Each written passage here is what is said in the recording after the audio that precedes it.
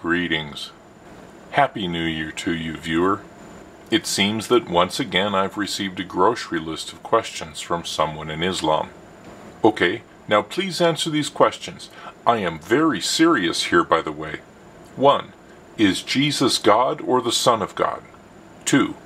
If he is God, did God die on the cross? You know, like dead? 3. I will only ask this if you can actually answer the first two, as you said, with legitimate logic.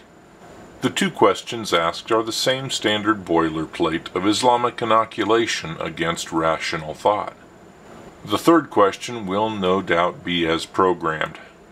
But I will endeavor in 2013 to be more patient and loving than I have been in the past. I recently watched a video on the 700 Club of a young YWAM missionary in an Iranian prison. It touched my heart in a big way, and I encourage you to find it and watch it, so it may minister to you as well. Anyway, in the spirit of patient, loving teaching and explanation, here is my answer to question 1. Is Jesus God or the Son of God? Message 1. Gladly, brother.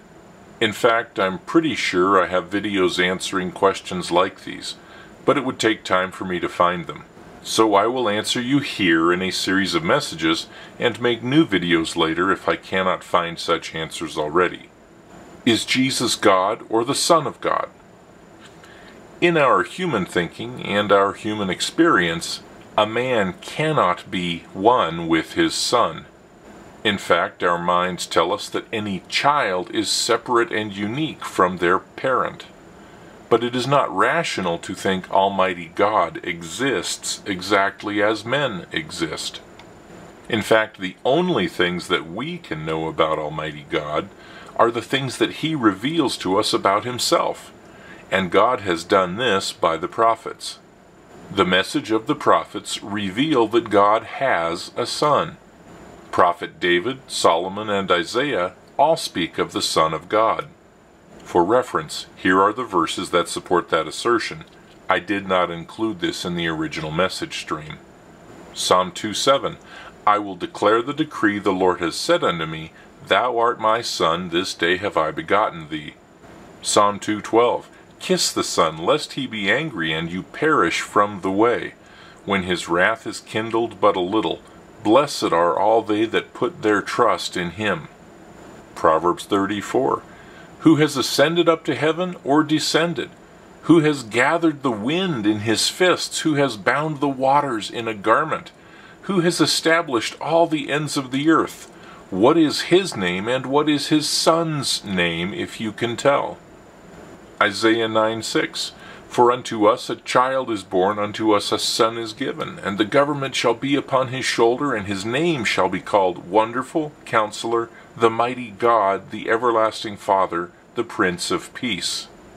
And Jesus, call him Prophet Jesus if you wish, said that he was the Son of God, meaning the Son of God foretold and revealed by the previous prophets.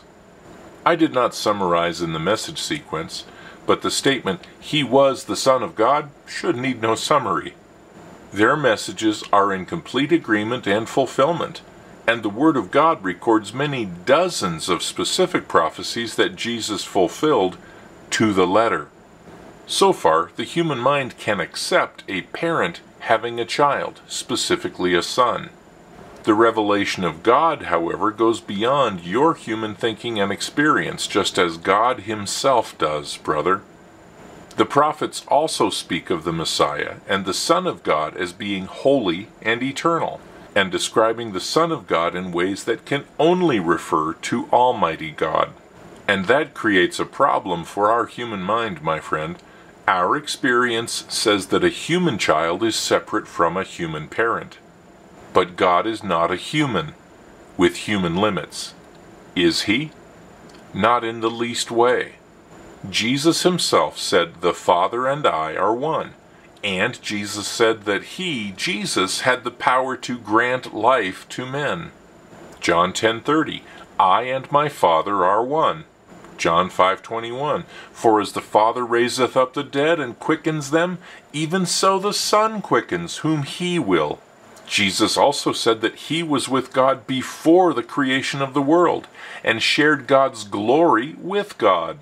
John 17:5 And now, O Father, glorify me with thine own self with the glory which I had with thee before the world was. There are many, many other things that Jesus said which no man and no prophet would dare speak of themselves and claim about themselves, my friend. All these revelations and statements by Jesus establish a unity with God that goes beyond being a separate child. And even the Old Testament prophets reveal things about God, Yahweh, which the Lord Jesus fulfilled. Prophet Zechariah revealed that the Lord, Almighty God, Yahweh, would be pierced. Zechariah 12:10 And I, Yahweh, will pour upon the house of David and upon the inhabitants of Jerusalem the spirit of grace and of supplications, and they shall look upon me, whom they have pierced, and they shall mourn for him as one mourneth for his only son. And if you believe the message of the prophets, you must ask, When, O God, would you be pierced by the Jewish people? Zechariah said God would be pierced by the Jews. Either you believe the prophets or you do not. That is your choice. But Jesus was pierced on the cross, my friend. And Jesus being pierced on the cross is an established historical fact. In fact, when Jesus appeared to his disciples, his proof that it was him raised from the dead was that he let Thomas put his hand in the hole in his side where he had been pierced on the cross by the Roman soldier. That being the case, Jesus being pierced means that Jesus is the Lord or Yahweh who prophet Zechariah revealed. You can accept the truth of the matter or not, my friend. The choice is yours. For now, I will allow you to think and digest and try and ask questions about my answer to question one. When you think you understand this topic, I'll write a stream of messages answering question two. I thought that was a very sincere, honest, thorough answer to a sincere question. He did say, I am very serious here, by the way. But his behavior after that revealed he was not actually serious. I do not want a stream of messages. Just answer simply, What the heck? Is Jesus God or God's Son? And in another response, Answer me simply. Is Jesus God or the Son of God? And did God die as he as in actually dead? God is dead. Can you not even tell me that? And in another response, give me a straight answer. For example, if you ask me the same questions, I would say, There is no God but God, just one and only one.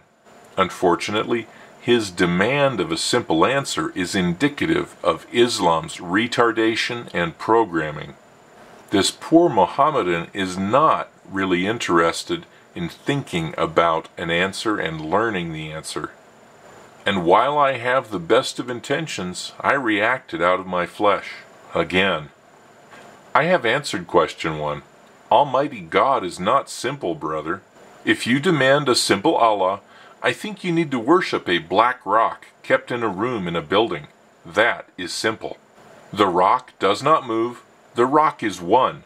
The rock has no son. The rock cannot die. Be serious, and I will answer you with more serious answers. Read all seven messages and think about them until you understand them, brother. I did not say accept them, I said understand them. If you have questions about the statements in the message, ask about the statements. Try to focus on the statements of the messages until you understand the statements. If they are too complicated, please let me know. And once again, humbled by my lack of patience, I must apologize to God for speaking harshly to someone He sent to hear the truth from me. Boy, it sucks to be a workman who is ashamed of his behaviors in public. But realize, we have the truth. We have it. And the only way they can see we have it is if God shines through us. They will know we are Christians by our love. which will include a humility that we are sinners saved by grace, just like them. May the Spirit of God open your eyes to the light, your ears to the truth, and your heart to His Son, the Lord Jesus Christ, who forgives me daily of my screw ups. Amen.